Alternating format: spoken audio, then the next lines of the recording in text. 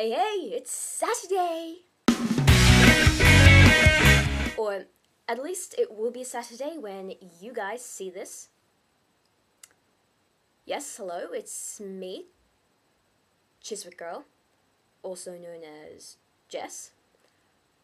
I haven't really been on the boards of late since everything's been a bit crazy with uh, all of my tests and stuff for school, so yeah, I've been lurking a lot of late, which some would say is a good thing, others would say it's a bad thing.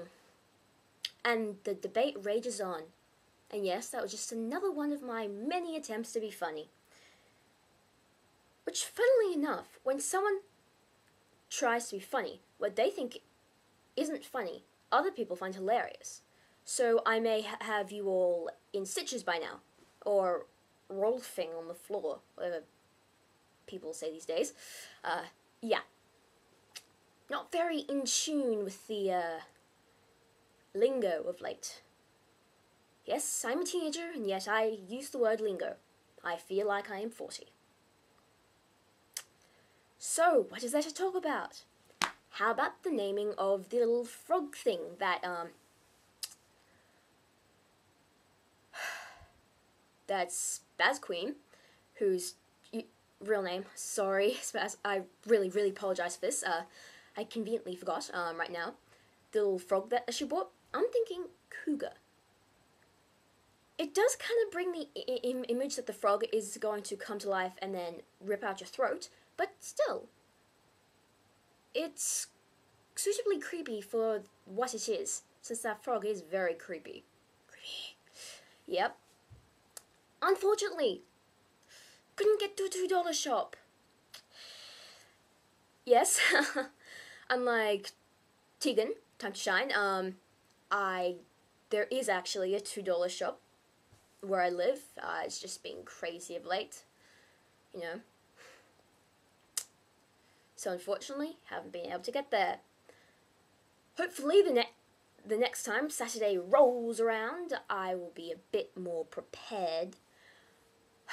yeah. I was thinking about this on Tuesday and thinking, hmm, maybe I should do something but then I thought, nah, it's Tuesday, I'll have time. Yes, it's now Friday night, and I don't really have enough time.